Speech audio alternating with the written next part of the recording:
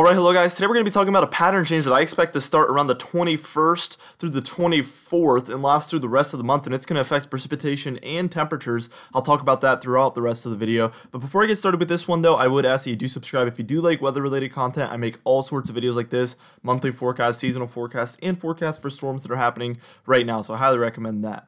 Alright, so we're looking at the GEFS model. This is the GFS ensemble model. We're looking at geopotential height, and this is a good... Um, this is a good tool to use to see where you know troughs and ridges set up. So we can see right now it's kind of a weak trough in the west, weak ridge in the east, kind of a ridge everywhere though. Uh, there's hardly a trough in the west. Now we're going to move on one here, and you can see by Wednesday the 24th we do have a trough in the east, ridge in the west, and this is kind of part of that cool down that I've been calling for over the last few videos around the 24th. So you can see there is a trough in the east, ridge in the west, classic look right there. Now we're going to move on to the ECMWF model here, the ensemble model, and you can see it's the same story. Around the 20th, you can see we have that little tiny trough in the e or trough in the west, and then ridge in the west, or what ridge in the east, huge ridge in the east there, and it kind of extends into the central United States. But you can see by the 25th, though, we do have that kind of mini mini trough in the in the east, but we really really have a ridge in the west there set up. So both these models are calling for that. So we're quite confident in that. And you can see by the 2nd of August even, it's still kind of now it's an ensemble model, so it kind of goes in a lot of different directions as we look long term. But you can see judging by these lines, you can tell that it's still a ridge in the west trough in the east by this point. So I'm expecting this to last into the beginning of August actually.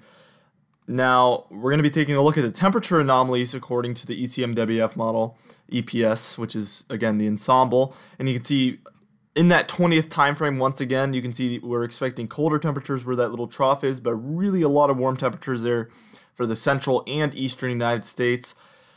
By the 24th, you can see we do have colder temperatures there for the east and warmer temperatures out there for the west. And this is right around when that trough sets up in the east, so this makes a lot of sense. And again, this is what I've been calling for for about a week now, I think.